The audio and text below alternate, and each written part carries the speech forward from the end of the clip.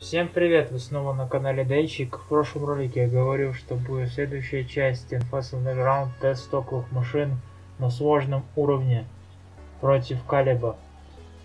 Вот и она. Итак, наш список машин значительно изменился. С 13 машин осталось четверо, а 9 машин не справились с тестом.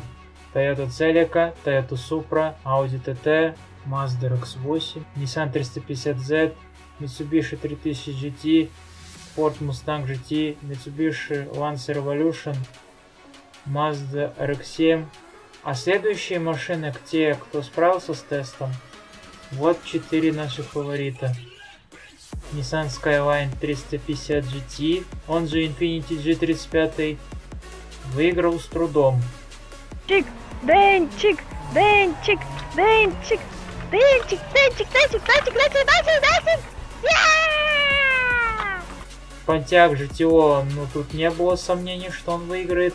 Nissan Skyline GTR R34, Subaru Impreza VRX. Как говорилось ранее, что всем машинам дан старт, но все ли доедут до финишной черты? Подписывайтесь на канал, ставьте пальцы вверх.